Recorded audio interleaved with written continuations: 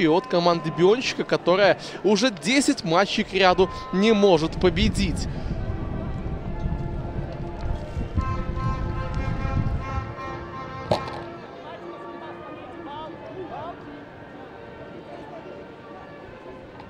Пожалуй, познакомимся с составами играющих сегодня команд. Начнем мы с хозяев. Футбольный клуб Минск в воротах. Александр Гутер по 30 номерам. Э, далее полевые футболисты по номерам Эдуард Жевнеров 5 Евгений Зимко номер 6, Арсений Мигдаленок 8 Владислав Васильев 14 номер 17. Поэтому вроде бы не разваливается Мозырь. Атака пока неплохая. Может выйти Соловей. Бьет Соловей, но грамотно занимает позицию Гутер и больших проблем так визуально этот удар ему не доставил. А, так вот, э, не разваливается Славия, да, нет каких-то прям э, тотальных разгромов, но вот постоянно чего-то не хватает команде Биончика. И вопрос чего? Конечно, в Мозере болельщики хотят более искрометной игры и побед. Удар поворотом Соловей наносит. Вот, играл. Один из футболистов Славии перейдет штрафную площадь. Соловей! Снова на острие атаки Соловей. Чтобы но... завоевать эти самые бронзовые награды и повторить результат предыдущего сезона. Нету офсайда, здесь опаснейший выход, и можно уже и забивать, и спасает Козлов.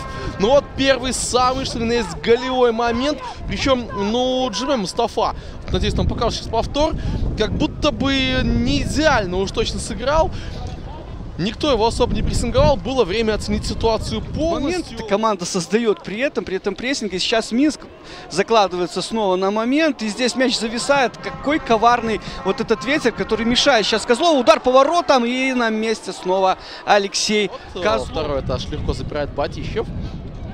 Не было ли фола? Да даже если был, то атака опасная. Соловей, бить можно. Соловей! И это 0-1! Андрей Соловей вколачивает, иначе не скажу мяч в ворота. Очень плотный, классный удар, и Славия повела. Желтая карточка Соловья, затем несколько полумоментов. И вот, пожалуйста, в этом противостоянии, да, которое мы все-таки решили отыскать и нашли, Соловья и Джиме, Мазырянин выходит вперед, ну и выводит, самое главное, свою команду вперед в этом поединке. Я, можно и пробить. Михаленко, удар неплохой. И сейв Алексея Козлова. А не шел ли мяч мимо ворот?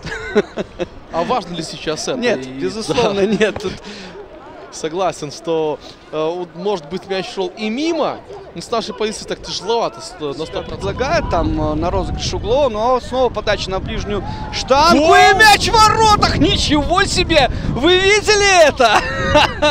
Это сухой лист или кто-то все-таки подставил там э, любую часть тела, которую можно легитимно забить? Потому что мне вот сейчас показалось, как будто бы это сухой лист. Мне тоже, но, наверное, Никита, надо ждать повтор, дабы Согласен. убедиться. Поздравляем в любом случае Минск с забитым мячом, очень нетипичным забитым мячом.